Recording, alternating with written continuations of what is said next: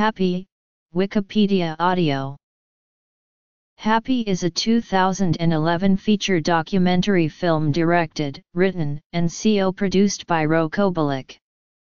It explores human happiness through interviews with people from all walks of life in 14 different countries, weaving in the newest findings of positive psychology. Roko Belic was inspired to create the film after producer-slash-director Tom Shadyac showed him an article in the New York Times titled A New Measure of Well-Being from a Happy Little Kingdom. The article ranks the United States as the 23rd happiest country in the world. Shadyac then suggested that Belic make a documentary about happiness. Belic spent several years interviewing hundreds of people, from leading happiness researchers to a rickshaw driver in Kolkata, a family living in a cohousing community in Denmark, a woman who was run over by a truck, a Cajun fisherman, and more.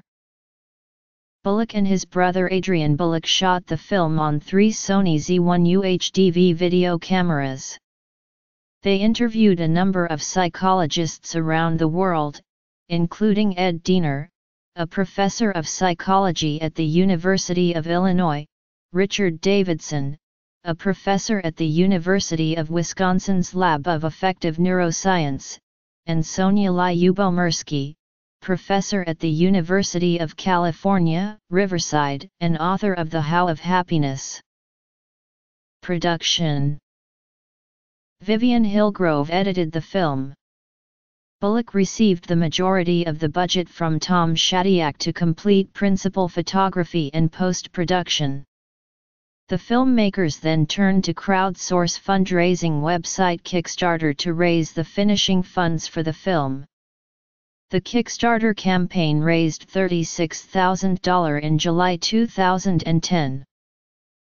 Post-production